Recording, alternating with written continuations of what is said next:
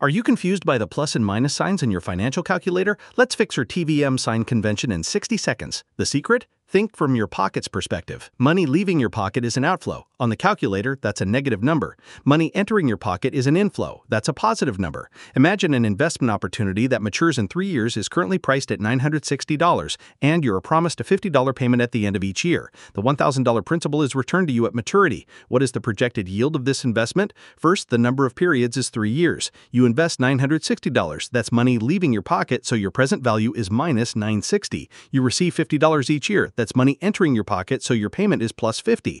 At maturity, $1,000 goes back into your pocket, so the future value is plus 1,000. And our unknown here is the yield, which is the IY parameter. Punch all the figures into your TVM calculator and solve for IY, and you should get 6.51%. The golden rule your inflows and outflows must have opposite signs. Follow Prep Nuggets and go to prepnuggets.com for more of these videos to ace your CFA exam.